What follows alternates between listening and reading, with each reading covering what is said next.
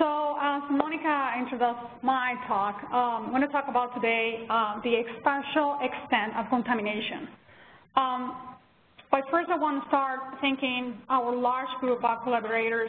This is a group effort um, from uh, different institutions, students, and technicians, and as well um, the funding um, from Gulf of Research Initiative through the two consortia, CIMAGE and DPAM.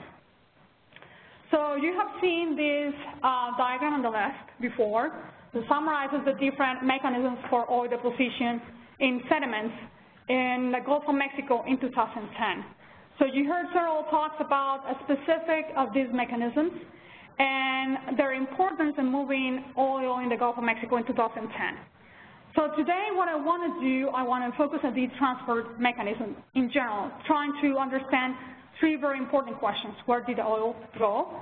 The extent of biological exposure to this oil when it was transported from one part of the Gulf to the other one, and where did it actually sink in the Gulf. So our field service, and you have seen um, some of these maps before, was focused on trying to sample as much as possible. So we had a high spatial coverage and a time series fish communities and sediments um, from the Gulf of Mexico. So the left side map is showing the sites that we have on the continental shelf looking at fish uh, reef communities. And the red side on south of the left map is showing our uh, collection of deep mesopelagic fish communities. On the right side, you have seen already this map. It's showing our core sites in the Gulf of Mexico since 2010.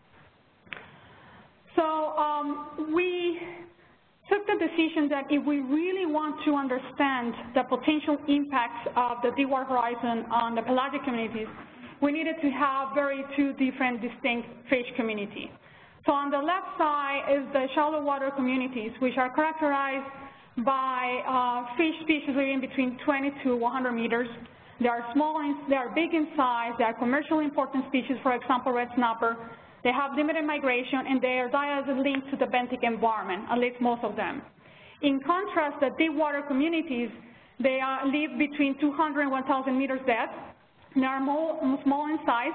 They are not commercially important, although they are very important for a lot of other animals um, in the Gulf, so they are the food for other animals. They have a large diel vertical migration, which means they swim every night to the surface to eat, so they are, have um, a lot of contact with the water column and what is going on in the water column, and also their diet is linked to the water column um, in zooplankton. So uh, initial studies shows that there were indicators that these communities were impacted. So um, stable isotopes analysis showed that the, there was a change in trophic ecology. So um, these fish communities, both fish communities, which are not directly linked, they show that they change in their diet. Also, there was a change in community structure, especially in the shallow water fish communities.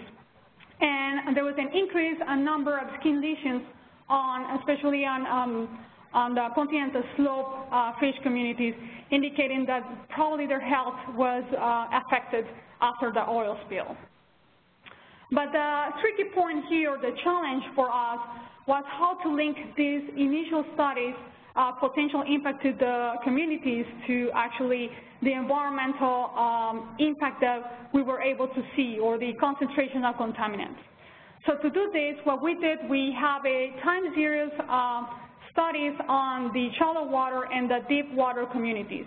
So on the left side, it's a graph showing the concentrations of PAHs we are, these um, molecules are found in the oil and as well in the, in the environment, but they have a very distinct composition in the oil versus what you see in the environment.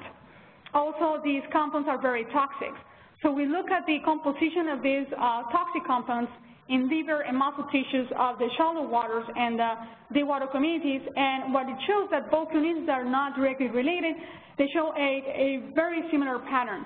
They both have higher concentrations um, late in 2010 and in 2011, and that those concentrations dropped after that. So both communities showed an episodic exposure to elevated PAHs um, that indicated that they were contaminated for about two years. Uh, they are still undergoing uh, studies to look at the long-term effects on these communities. So when we look at specifics of the composition of the oil and how changes in time, we were able to see there was a large spatial and temporal extent of exposure to the oil. Um, and this was not only one mechanism that was moving the oil in one part of the Gulf to the other one, it was actually a combination of different mechanisms. So for example, on the continental shelf, uh, the surface slick was moved uh, towards that, and the weather oil actually sink. It was um, affected probably the diet and um, the food resources for this community. Um, for the deeper sites, for the mesopelagic fish communities, uh, they may probably be affected not only by the surface oil slick, but also by the deep plume. And on the bottom, I'm showing a map uh, that was published in 2012 showing simulations of the distribution of the deep plume in red which indicates that the deep plume probably didn't only went southwest of the Deepwater horizon, but also to the east. So it may have affected uh, more uh, these pelagic communities than we thought before. So now moving on to the sediment environment. Uh, you have seen this uh, map before. And what we did, um, we uh, focused our initial studies to the DeSoto Canyon, as Dave and Greg Brooks uh, spoke before. And we use this uh, because we integrate the geochronology with the organic geochemistry in order to understand where actually the oil uh, sinks to the bottom of this region of the Gulf. So you have seen this graph before where we have a sediment core, where we uh, have the chronology, and we analyze the chemicals at each of these layers. And what we found, if you look at the gray area on this graph, is that hydrocarbons, uh, looking at total aliphatics and low molecular weight PAHs, they were higher in concentration um, during 2010 and 2011 relative to background levels. And when we compare this to benthic organisms, uh, the numbers are formed, at that same range of time, they decrease in their density. Some of the sites show recover after this time, and some other sites, they're still um, showing no recovery. Uh, also, when we look specifically at the composition of these hydrocarbons, we were able as well as we were able to see in these uh, other two very distinct fish communities that different mechanisms were uh, responsible for bringing this oil to the bottom of, of the Gulf. And so there are geochemical evidences of hydrocarbons inputs via the marine snow or MOSSFA, as Dave explained, and the deep plume. But even though we have all these sample sites and we look at uh, different communities and sediment cores over time, we uh, thought that this special coverage was not enough if we want to determine or have a better view of where the oil go in after 2010 and how much actually sank into the bottom of the Gulf. So what we did, we took our uh, sites and we integrated our database with ERMA, NOAA, BP databases. And you can see here the map of our new study area, which is larger, and we have a larger number of sites. And we divided the area in the coastal area that goes up to 50 kilometers offshore, um, the continental shelf that goes from 50 kilometers offshore to the slope break, and then the deep sea area. And we look at the composition of the hydrocarbons that we'll see in the surface of the sediments. But again, we want to resolve how much actually reached the bottom of the sediments relative to baseline or background data. So we use our initial uh, studies that indicates that there was um, a, one, a one centimeter layer on the surface that has the composition um, similar to Deepwater horizon oil or conditions that indicated that event or multiple event happened uh, recently. So we compare those concentrations on the surface and, and compare it to the background levels uh, to determine a number which we call the excess deposition of hydrocarbons post-spill, which is basically the excess that was deposited after 2010. And we thought about this uh, way of approach this question because the Deepwater Horizon spill um, spill um, hydrocarbons over seven times the average annual input of that we see in the Gulf of Mexico. So you will expect for a large amount of input of hydrocarbons in a short period of time, you should be able to see it on the surface of the sediments if actually that happened. So if we look at only at the sites that show contamination, in other words, it has the excess of hydrocarbons, so there was a large uh, spatial extent in each of these um, areas in the Gulf. So on the top is, in green, is the coastal area and shows that 57% of the sites that we um, have access to show contamination up to a distance of 100 kilometers away from the Deepwater Horizon site. The continental shelf, uh, we have lower number of sites, but um, again, for, there was a large number, or at least almost 50% of the sites have contamination, and we saw this contamination up to 500 kilometers away from the Deepwater Horizon site.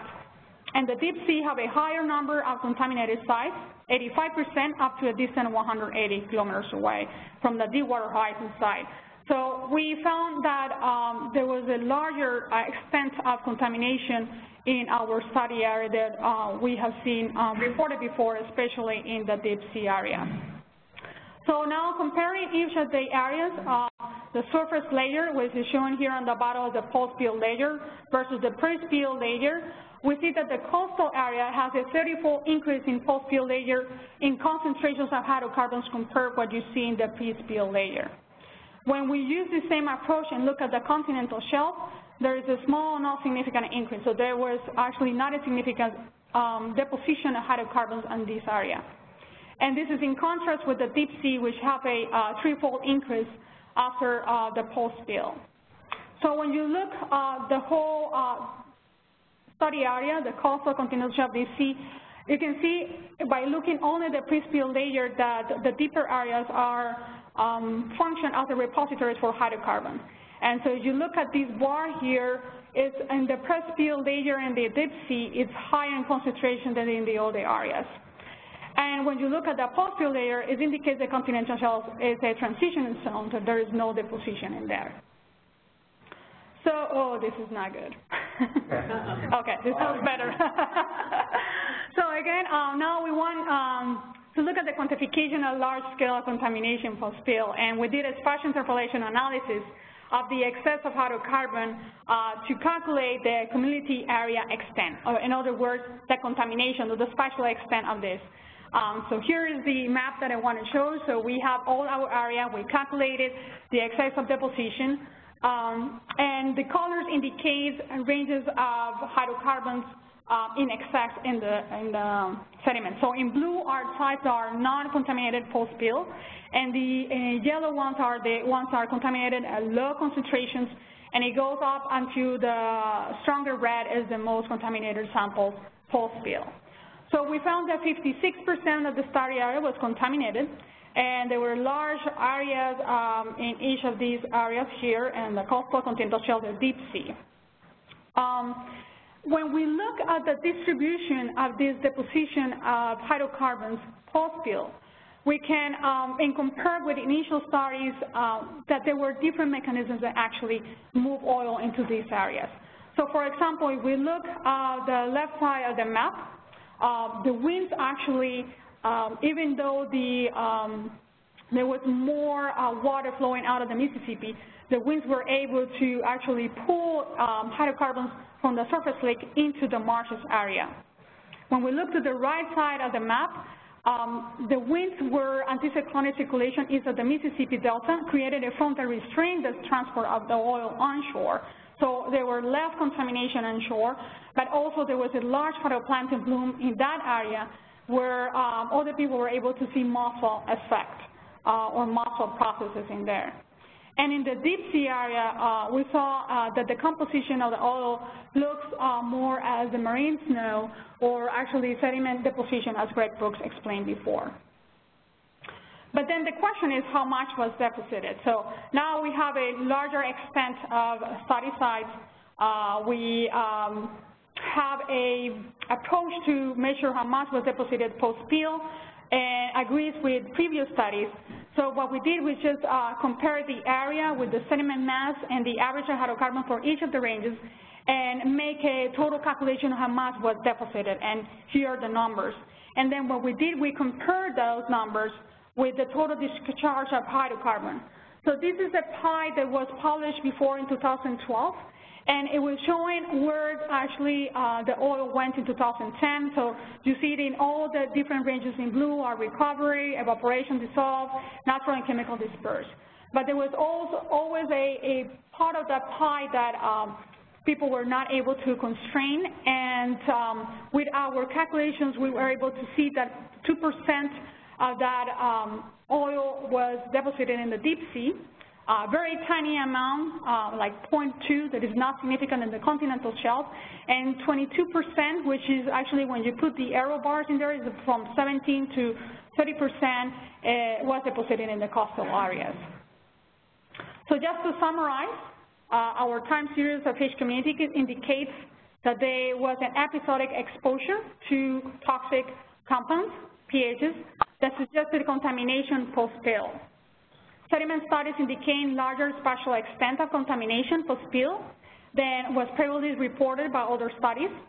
Also, there was a significant deposition of oil on the bottom of the Gulf, uh, mostly was deposited in the coastal areas, and the continental shelf acts as a transitional zone in the Gulf. Also, a large-scale integration of hydrocarbons in contaminated areas indicates surface sediment layer contains about 70 to 30 percent of the released hydrocarbons in 2010.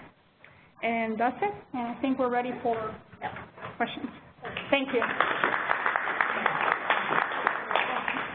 Can I have three speakers up at the table, please? Go ahead and have a seat, please.